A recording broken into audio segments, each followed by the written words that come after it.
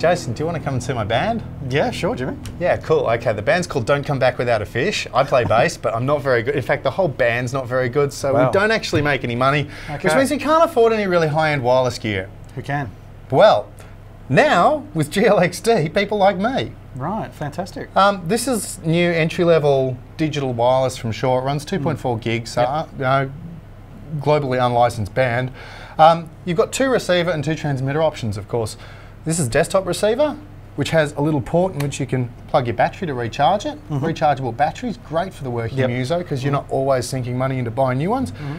And you got this, which is really cool. This is the guitar pedal receiver, which outputs instrument level. It runs off pretty much whatever voltage your pedal board will feed it, so you don't need another power supply. Um, and you can flip between either showing your RF information or you can have uh, needle or stroboscopic tuner. Okay. And, And you can choose to mute when you're tuning. fantastic. I mean, and guitarists are used to stepping on things that look like that, so that should be pretty straightforward. Yeah, exactly. Now, as you pointed out to me, something that's really blown me away: USB port. Yeah, so when you're on the road to your next gig, you can use one of these, which is the car charger, to recharge your microphones.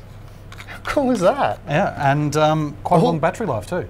Yeah, 16 hours on Wow. full charge. Um, I should show you the instrument one, which of course looks like this.